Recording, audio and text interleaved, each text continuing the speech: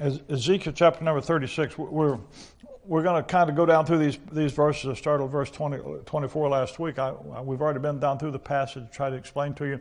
This is the passage where, where Ezekiel begins to give details about the conversion and the restoration of the nation Israel. We saw last week, we looked at this verse 24. I will, I will take the I will. I, no, the I will, I will, verse 25, I will. God's going to do this. This is when He does it, not when they do it, but He does it. And I will take you from among the heathen and gather you out of all the countries where, where and will bring you into your own land. So he's going to regather the nation Israel, going to bring them back into their land. There is a future for the nation Israel in the Bible. I tried to make that point with you last week. The, the nation Israel, as a nation, has not been replaced in God's plan and program. God has a future for them. He made, he made covenants, He made promises, He has a plan for them, and what we're reading here is the way He's going to execute that. We're not Israel, we haven't replaced Israel. That's, that's the, the theology of liberalism that doesn't, instead of reading the Bible for what it says, they, they read, it, read the Bible to prove what they want it to prove. I said Sunday, if you're a premillennial dispens, a Bible believing premillennial dispensationalist, that is as much a political statement as a doctrinal statement because you understand that the government of this, this world isn't ever going to be back, uh, going to be re- redeemed until the Lord Jesus Christ comes back, the rightful King of the universe, and sets up his structure of government in the earth. That's his plan and his purpose and the goal with the nation Israel. What this passage is doing is talking about when it, about how that's going to begin to come about. Verse 23 is important to remember. I will sanctify my great name. This is God talking. Starting verse 22. Therefore, say unto the house of Israel, Thus saith the Lord God, I do not this for your sakes, O house of Israel, but for mine holy name's sake. And you got to get that. God's going to do what He's going to do for the nation of Israel, not for Israel, not for the Gentiles, but for His name. He gave His word about some things.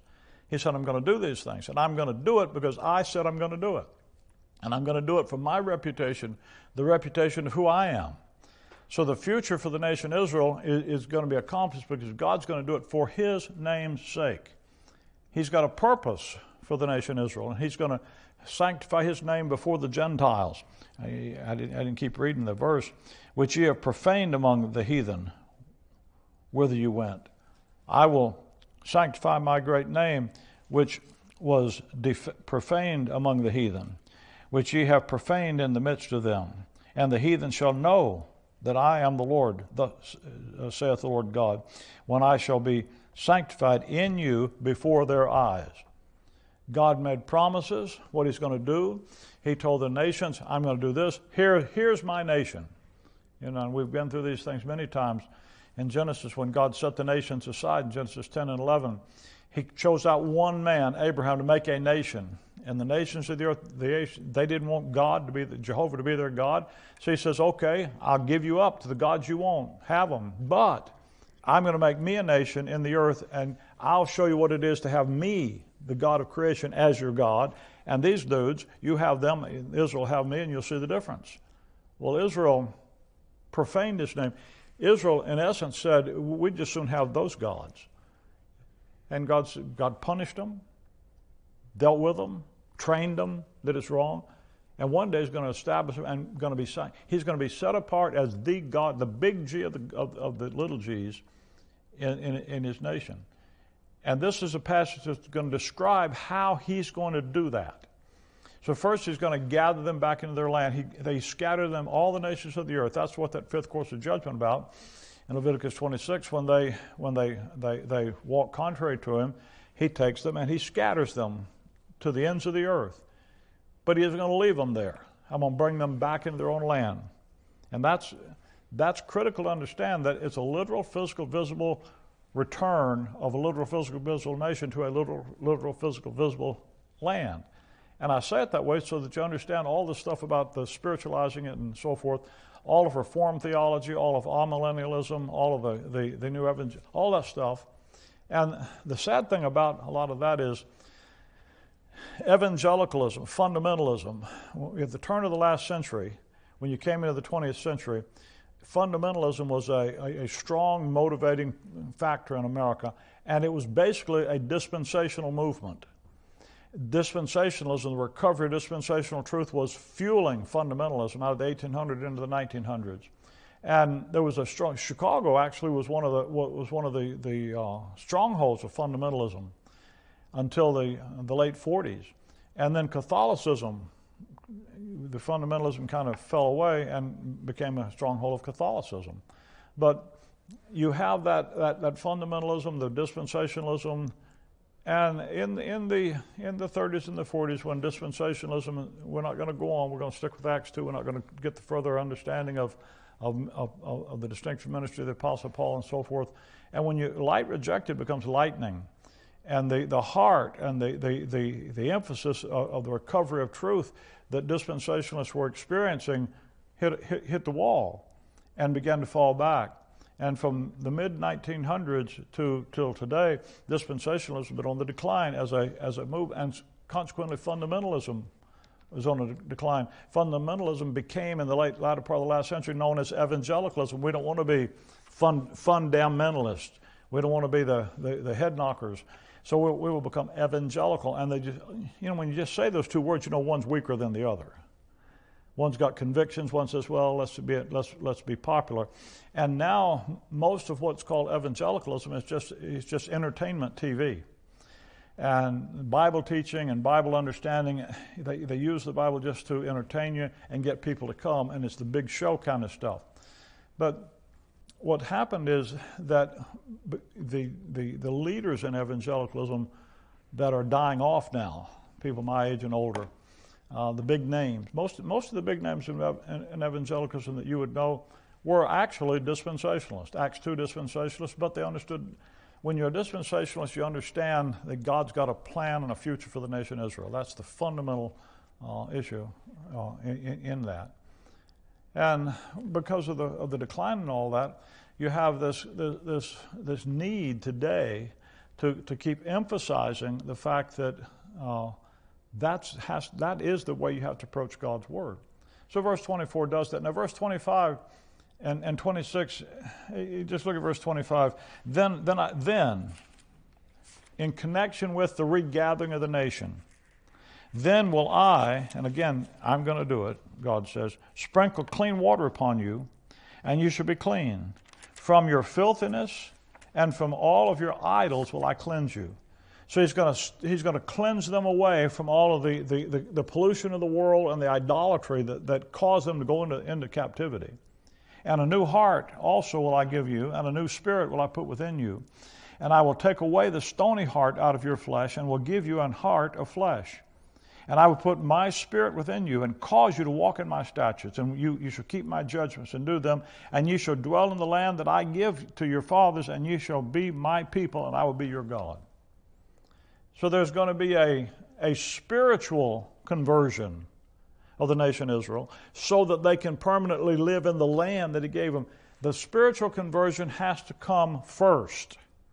It's necessary that, that they have a spiritual conversion because they can't, in their own self, they have this, this stony heart. Uh, this old, uh, we'll, we'll, look at those things when we get there. This old Adamic rebellious heart. And I, I love the way he says that uh, I'll, I'll, take away the stony heart out of your flesh, and I'll give you a heart of flesh. And you know, you, you read that and you say, well, a heart of flesh, a stony heart of flesh, why don't we get something out of a heart? When he talks about the heart of flesh, your flesh, that, that's talking about your, who you are in Adam. And God created man for a purpose.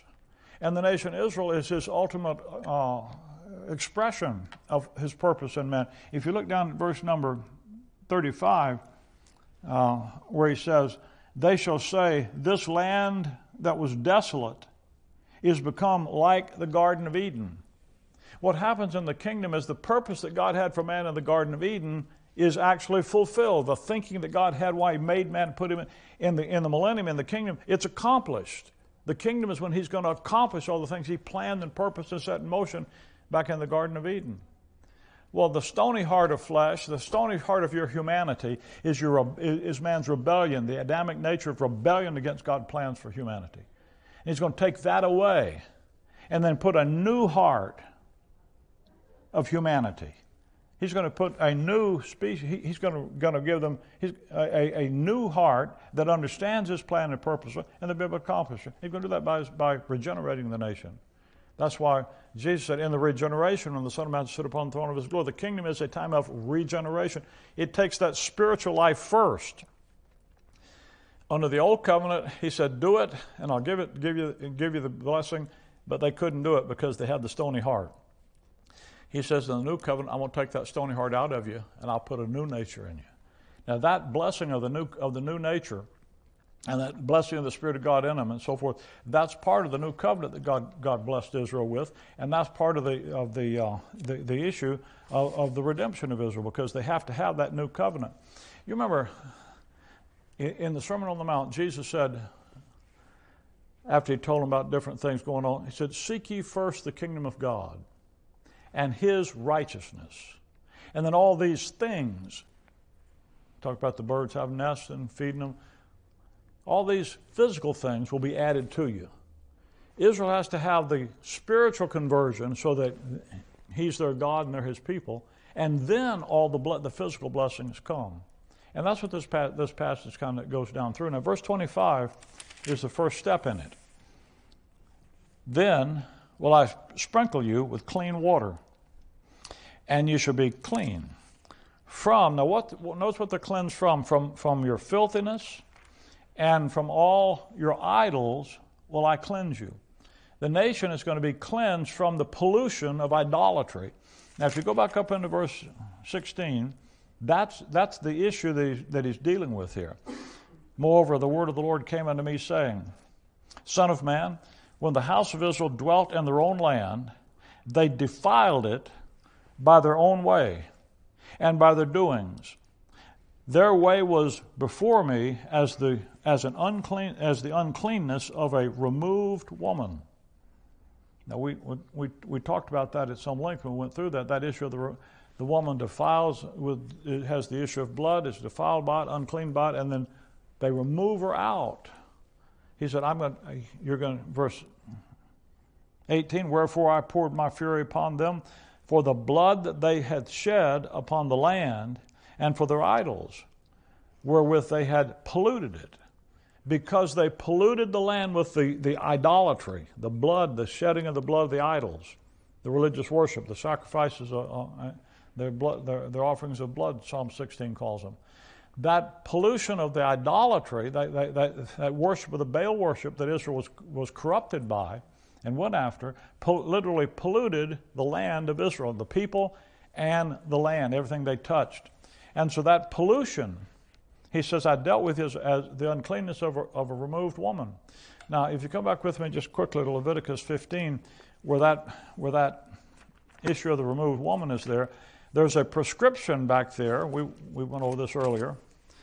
Actually, for the cleansing, the issue about the, the, the, woman here is, is not just the, the, the pollution, it's the cleansing and when it deals with, as, as the, uh, deals with Israel as the removed woman, I'm going to take you out of the land. But the prescription for her to get back in the land is, is the thing that's interesting. Leviticus chapter 15, uh, verse 19. And if a woman have an issue of blood, and her issue, the, her issue in her flesh be blood, she should be put apart seven days and, and whosoever toucheth her shall be unclean until the even. And every time that she lieth upon, uh, uh, uh, everything that she lieth upon in her separation shall be unclean. So when she has the issue of blood and she's making things unclean, you separate her. So what does he do? I deal with her as a removal. I take you out and I remove you out of the land. So the issue of taking Israel out of the land was to separate her from polluting the land. While they're gone, he, tell, he tells them that uh, uh, while they're gone into captivity, Israel, the, the, uh, the, land can enjoy her Sabbath rest. So there's, there's, they're, they're, they're, they're out. But the woman doesn't, isn't separated forever. There's a methodology, a step process for her to get back in. Um, if you come down to verse number 20, 28. But if she be cleansed of her issue. Now, how is she going to be cleansed? Well, look back at verse 13. This is about a man that's, that, that's, that's unclean. And when he that hath an issue is cleansed of his issue, then he shall number to himself seven days for his cleansing, and wash his clothes, and bathe his flesh in running water, and shall be clean. So the way you're cleansed, the first step is you're, is you're bathed in running water. That cleanses you. Now, that running water, that being bathed in running water, we'll look at the passage in a minute in, in Numbers chapter 19, is called the water of purification. There is a prescribed way, a formula that God gave Israel to make some water. You know, we, we religion now talks about holy water. And there's the old joke how do you make holy water? You boil the hell out of it. Well, they had a prescription to make holy water. We'll look at it in a minute. And that's, they, they had that. And that water was used to, to, to cleanse, to, to ceremonially cleanse a person. So the first step in getting back is the washing with water. Verse 29. And on the eighth day, she shall take unto her two turtle doves and uh, two turtles and two young pigeons and bring them unto the priest at the door of the tabernacle of the congregation. The priest shall offer uh, one for a sin offering, the other for a burnt offering, and the priest shall make an atonement for her before the Lord for the issue uh, of, of her uncleanness. Thus shall ye separate the children of Israel from their uncleanness, that they die not in their uncleanness. And when they defile my when they when they defile my tabernacle that is among them. So first there's a washing, a purification, the water of purification, and then there's a sacrifice. So the, the way you get back in is first you have the, the, the, the, the sprinkle with clean water, and then you have the sacrifice that takes you back in. If you look at the first part of that chapter, you see the same thing happens for a man that's unclean. He's separated, and then he's washed, and then he has a sacrifice. So you can see the, the, the, the, the progression there. Well, you come back to Ezekiel and you have the same kind of, same kind of thing. He's going to start off with the sprinkling of clean water. That's that water of purification that, uh, that, that is back there. Come with me to Numbers chapter number 19. I just want to run over this with you real quickly about the water of purification. And the reason, the reason I'm doing this, maybe, maybe I should do this first. Come with me to the book of John, chapter number 3. John, chapter number 3. This running water, this, this, this clean water, uh, I'll sprinkle you with clean water upon you. And that's not just water that's not got some kind of pollutants in it. That's water that's been, been ceremoniously cleansed. It's, it's water that's designed to clean you ceremoniously, clean Israel ceremoniously. It's called the water of purification in, in, in Moses. That issue of purification, sanctifying the person uh, uh, ceremonially, is connected with, the, with water baptism in the Bible. And when he's talking about I'll sprinkle you with clean water, he's talking what they're talking about there is what we now call, what the New Testament calls water baptism. John chapter number three. Uh, John chapter three, verse number twenty-two. After these things came Jesus and his disciples into the land of Judea, and there they, he tarried with them and baptized. And John also was baptizing in Aenon, near to Salem, because there was much water there. And they came and were baptized. And John was not yet cast into prison. Then there arose a question between some of John's disciples and the Jews about water baptism. But what does the verse say? About purifying.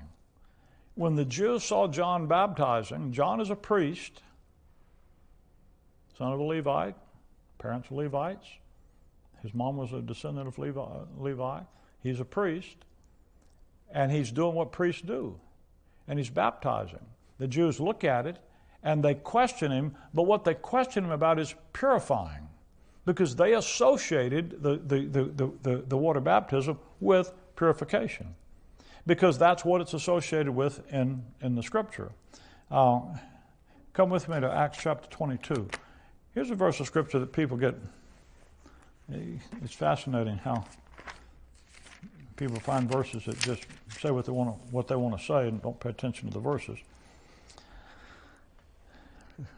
Acts 22, verse 16. Now, th- this is after, after Saul gets saved, and now he's, he's Paul, he, he, he's saved. And he goes to Ananias. Uh, Christ sends him there, verse, verse 12. A devout man according to the law, having a good report of all the Jews which dwelt there. Acts 22 12, verse 13. Came unto me, Ananias comes to him, and stood and said unto me, Brother Saul, receive thy sight. In the same hour I looked upon him, up upon him. And he said, The God of our fathers hath chosen thee, that thou shouldest know his will, and see the just one, and shouldest hear the voice of his mouth. For thou shalt be his witness unto all men of what thou hast seen and heard. Now, why tarriest thou? Arise and be baptized, and wash away thy sins, calling on the name of the Lord. Arise and be baptized, and what? Wash away thy sins. Now, you know that water, no water ceremony is going to wash away your sins before the justice of God. But just like the water of purification back in Leviticus cleansed this, the woman or cleansed the man, it ceremonially cleansed them from the idolatry that was there. My point to you is that in your Bible, when you come into the New Testament out of the Old Testament, you have the Old Testament thinking and the Old Testament thinkers. Water baptism is associated with the issue of purification. It's never associated, by the way, with the issue of imparting eternal life. It's always the issue of a ceremonial cleansing. So, Israel, you're set apart from the defilement that comes from association with the world, with idolatry. And it's the, the, the clean water, the running water, is the water of purification. And that comes out of Numbers chapter number 19. It's a fascinating account back here of uh, how you produce uh, holy water, and you don't have to boil it. Numbers chapter 19. The Lord said, spake unto Moses and, unto Aaron, saying, This is the ordinance of the law which the Lord hath commanded, saying, Speaking to the children of Israel, that they bring thee a red heifer without spot, wherein is no blemish, and upon which never came yoke. Now, when you read that verse, when you hear about something being with, with, without spot, what does that remind you of? You remember the verse in Hebrews chapter 9 said that the Lord Jesus Christ was without spot and blemish? You've got words there in that verse that you, you, you, get over in the book of Hebrews, and he says the exact same things about the Lord Jesus Christ.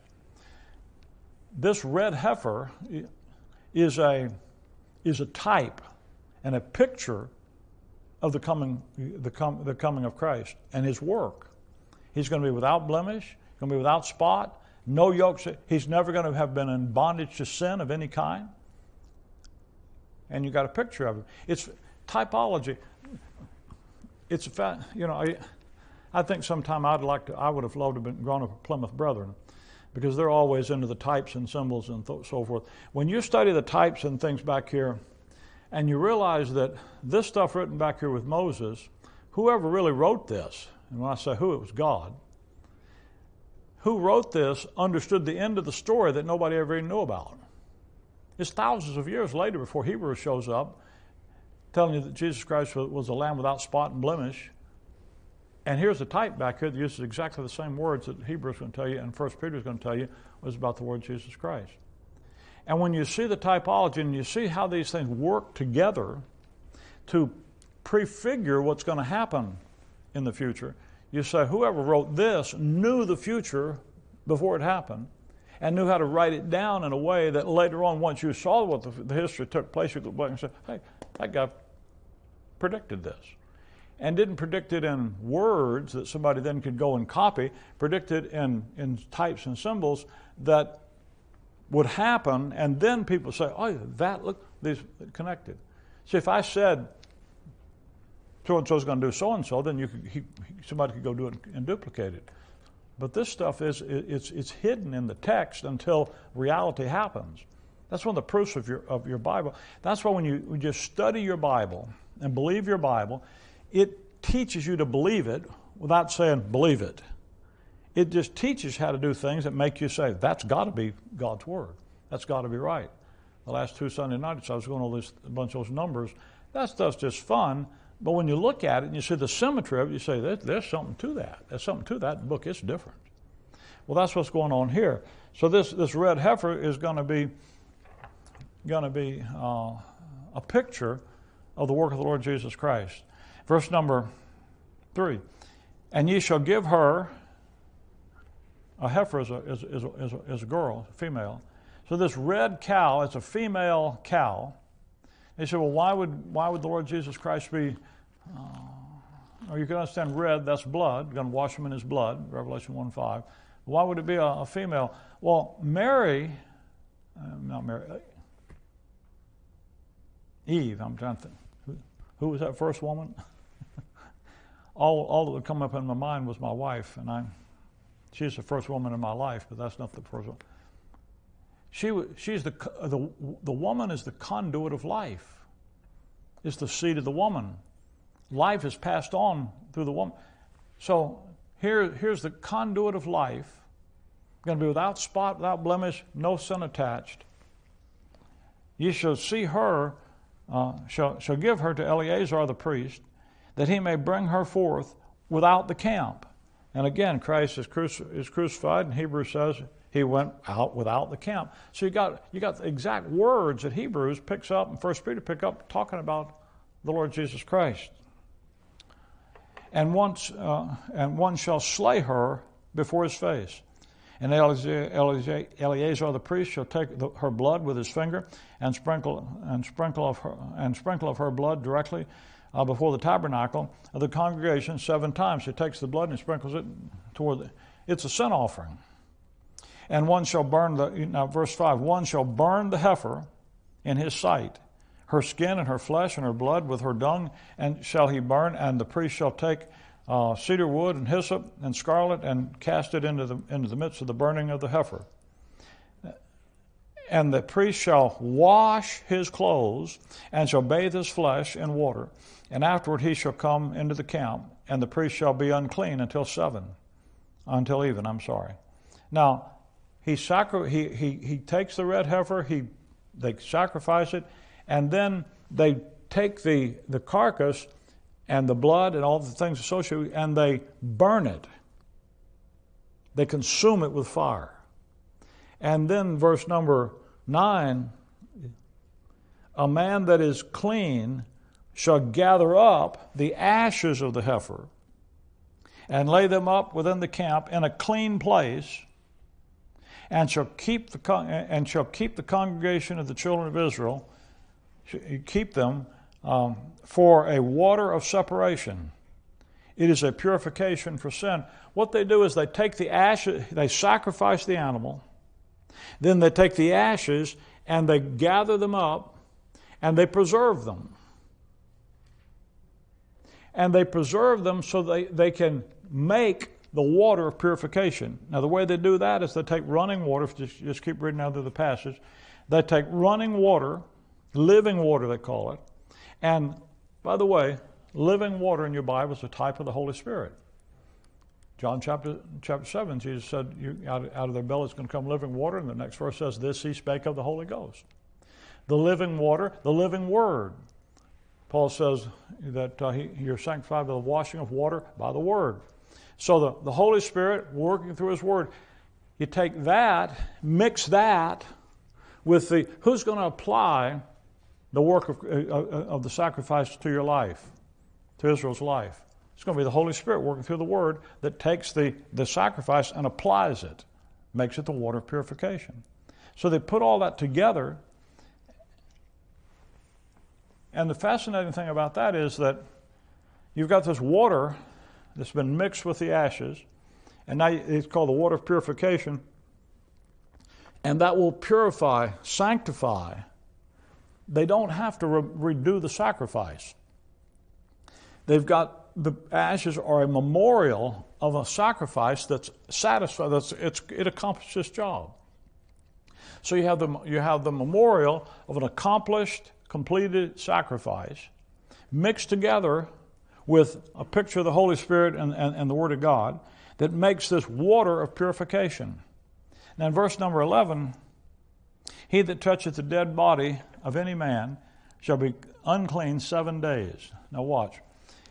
He shall purify himself with, with it on the third day. And on the seventh day he shall be clean. But if he purify not himself on the third day, then the seventh day he shall not be clean. Now that's fascinating. You have to sprinkle that, that, that water seven times on the third day. Now, you know what three is, is picture of the resurrection. Seven is, is, a, complete, is a number of completion.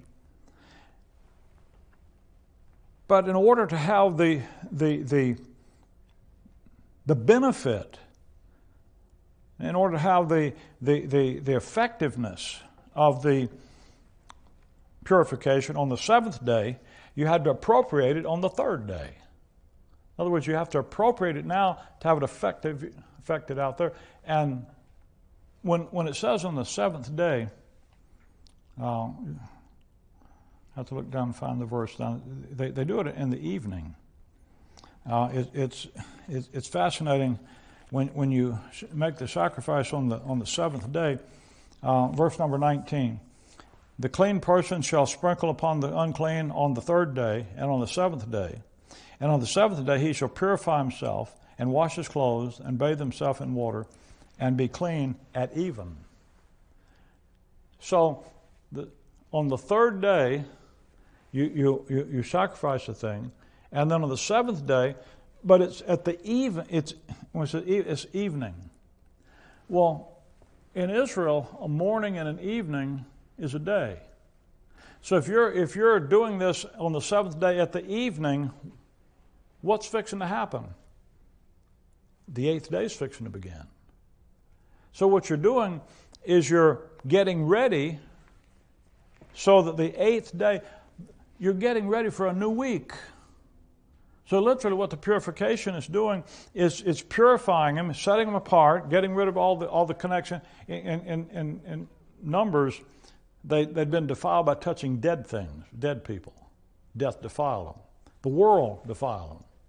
The, the deadness of idolatry defiles them. And the way they were purified is this, the, the, take this, this water of purification that is the application of the sacrifice of that red heifer. And when you do it, you're getting yourself ready for a new week. Well, that's exactly what we're doing in Ezekiel. We're looking forward to a new week. We're looking forward to the kingdom, the new heavens and the new earth. So, the, the, the, my point to you is the water purification, the water of separation, this clean water that we're talking about here, if you go back to Ezekiel 36.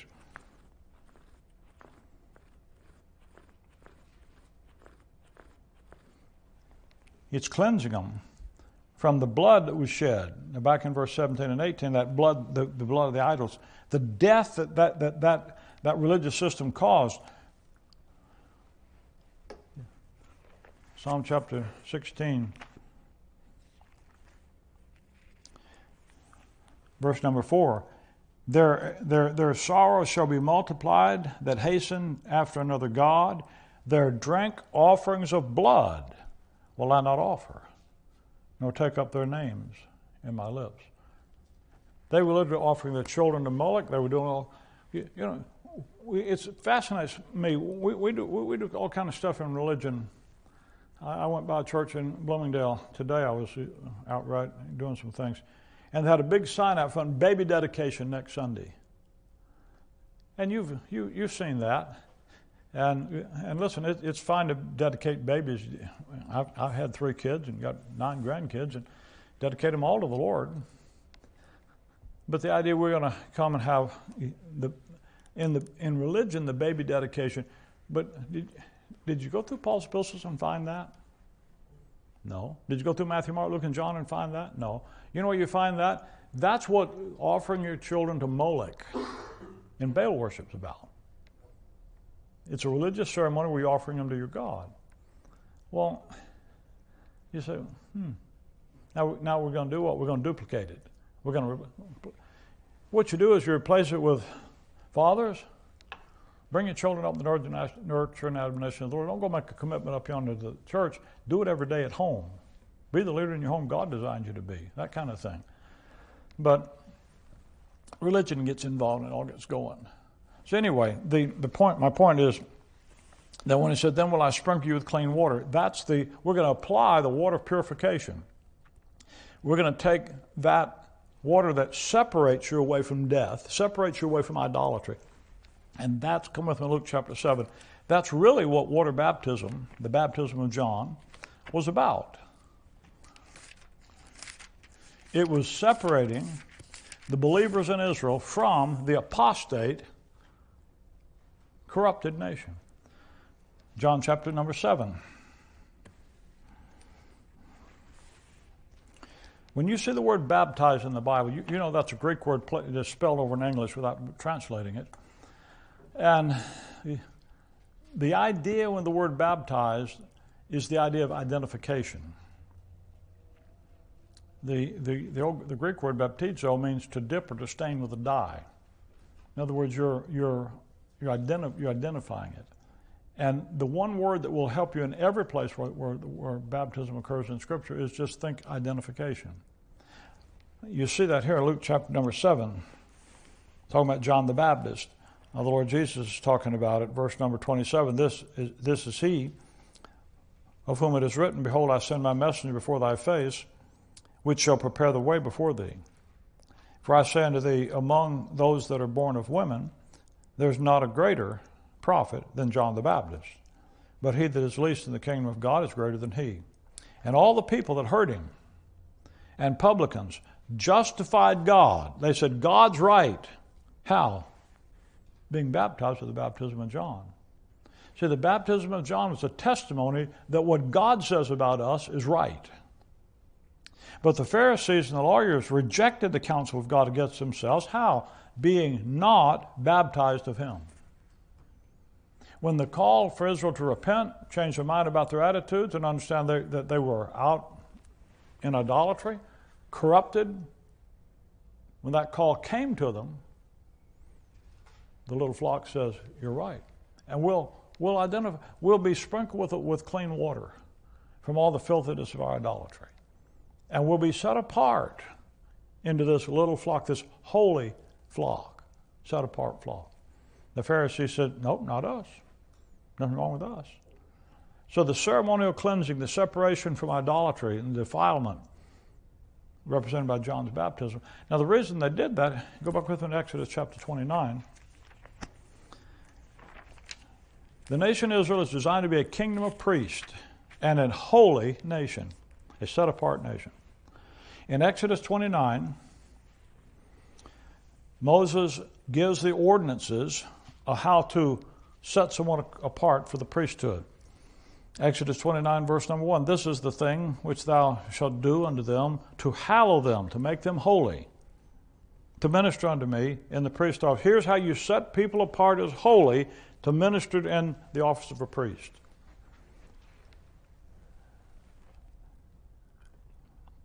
Take unto thee two rams without blemish, and you're going to have a sacrifice. Verse 4 And Aaron and his sons shall thou bring to the door of the tabernacle of the congregation, and shall wash them with water.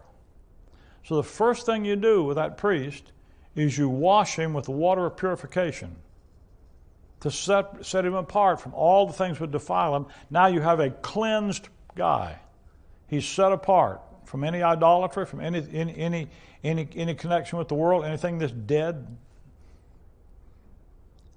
and you make him holy.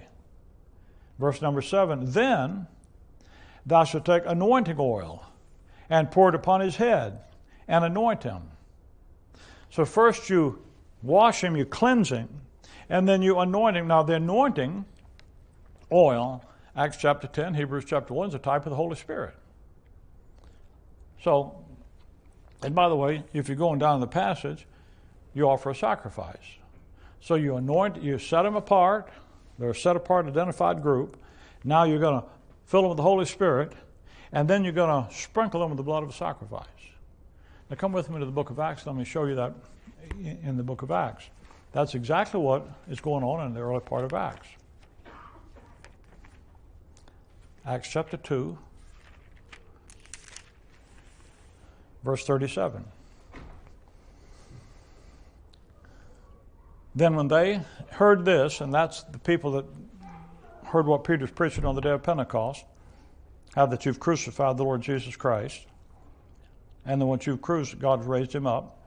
Uh, verse 32 This Jesus, whom uh, hath God raised up, whom you, whom of whom we were witnesses. Therefore, being by the right hand of God exalted, and having received of the Father the promise of the Holy Ghost, he hath shed forth this which you now see and hear. So they've been anointed. For David is not ascended into the heavens, but he saith himself, The Lord hath the Lord said unto my Lord, Sit thou on my right hand until I make thy foot, foes thy footstool. Therefore, let all the house of Israel know assuredly that God hath made that same Jesus whom you crucified both Lord and Christ. Now, when they heard this, they were pricked in their heart and said to Peter and to the rest of the brethren, apostles, men and brethren, what shall we do?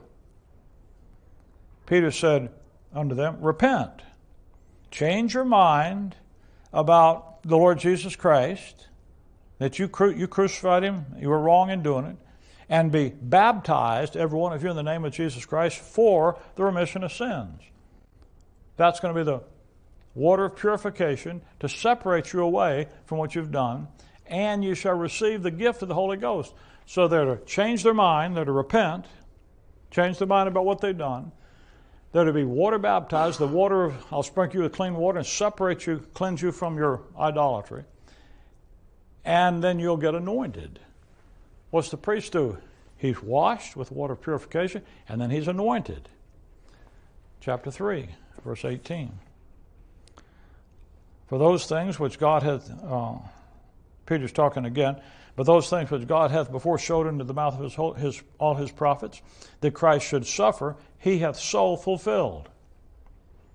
Repent ye therefore and be converted, that your sins may be blotted out. Notice that next word, when the times of refreshing come from the presence of the Lord. So they're going to repent, they're going to be baptized for the remission of sins, and then when Christ comes back over here, their sins are going to be taken, blotted out. The blood's going to be applied. And he shall send Jesus Christ, which before was preached unto you, whom the heaven must receive until the times of restitution of all things, which God has spoken by the mouth of all his holy prophets since the world began.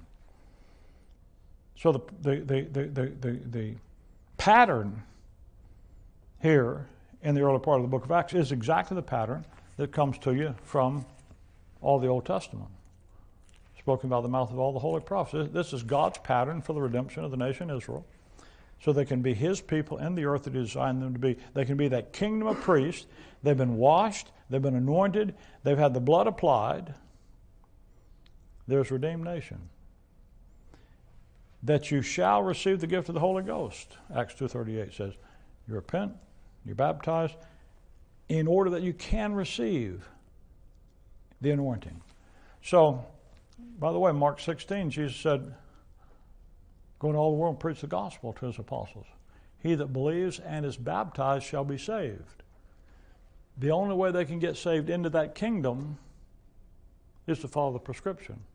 And these signs shall follow them that believe. There's the anointing. So the whole, the whole system back in, in, in Ezekiel 36 is just going to be carried out. So, and by the way, the, the, the real kicker in Ezekiel 36, verse 25, is how does he say to, what's he going to do? He's going to sprinkle you with, with, with clean water. I was raised in a church that practiced water baptism by sprinkling. There are some that practice it by pouring. There are others that practice it by immersion. folks who practice it by immersion say you can't do it any other way. When I got saved, uh, my uncle was uh, a Baptist preacher there in Mobile, a wonderful, great guy. And uh, in fact, my second son is named after him.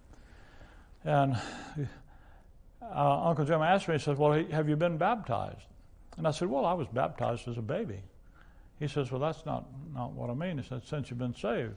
And so I went, I went to, the, the, to my Methodist pastor and I said, You know, Brother Edens, I got saved couple weeks ago and I need to be baptized. And he says, Okay. So he, so one Sunday morning, I, I played the organ for the 8:30 service, uh, the, the youth choir, and I, I got up, went down to the chancellor, and they baptized me. Poured a little water in my head and said whatever they said. I don't remember any of it. And so I went around and told my Uncle Jim, I said, Uncle Jim, I got baptized Sunday. He said, What'd they do? I said, Well, they sprinkled water on my head. He said, Let me ask you something. If your dog died and you took him out in the backyard and, you, and you're going to bury him, would you just throw water, dirt on his head? Say you buried him? I said, No. He said, What would you do? You dig a hole and put him in it? Yeah. He said, Well, you didn't get baptized. You, got, you just got dirt thrown on your head. So I'll go back to the Methodist preacher and I said, Brother Edens, if your dog died and you threw dirt on his head, would you say you buried him? He said, You've been talking to them Baptists, hadn't you? I said, Yes, sir. And then I went to then I, I had a, a grace preacher, Roy Lange, who, who I'd been studying with. So I went and asked Brother Lange. I said, Brother Lange, if your dog died and you buried him and threw dirt on his head, would you say you buried him? Brother Lange said, No. Why would you say that? I said, Well, you got to be buried in baptism. He said, Oh, no, no, no, no. That's got nothing to do with water. And he read me Romans. He said, Look at Romans 6. And I looked at it. He said, How could that be physical water baptism? I said, Well, it couldn't. What is it? He said, Well, look at 1 Corinthians chapter 12, verse 13. By one Spirit, we're all baptized. I looked at that and said, Holy mackerel. Wow. And it was like light bulbs went off. and my uncle nor my Methodist preacher liked what I said when I went back and told him about that. But it sure helped me. And it can take some of that religious hoodly do off your shoulders. But the big, the big way to do it, see, it's one thing to say, I don't need to do it. It's better to understand why they did do it. And it was an integral part of the restoration of the nation of Israel, the identification of the little flock amongst, amongst a corrupt nation. So we'll, we'll, continue down through Ezekiel next time, okay? All right. Father, thank you tonight for your love and your grace, the clarity that your word can give us to point us to the completeness, the sufficiency that we have in our Savior. In Christ's name, amen. All right, praise the Lord.